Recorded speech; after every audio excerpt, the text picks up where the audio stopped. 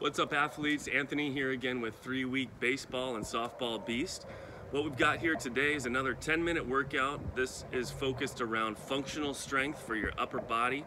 Although we do get a little bit of lunges, we do get a little bit of lower body strength in there too. Uh, hang out with us for these 10 minutes, see if you can make it all the way through. Remember all of these workouts and more you can find on Three Week Baseball Beast. It's a program that we set out for three weeks at home, all body weight, no equipment needed.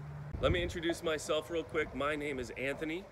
I was a professional baseball player for two different teams and made it all the way to the big leagues with the Minnesota Twins. I had a lot of great coaches that inspired me along the way, but it wasn't until I really took my training seriously and got into the gym on my own, did extra work, take that 82, 86, 88, into 90, 91, 92, 93.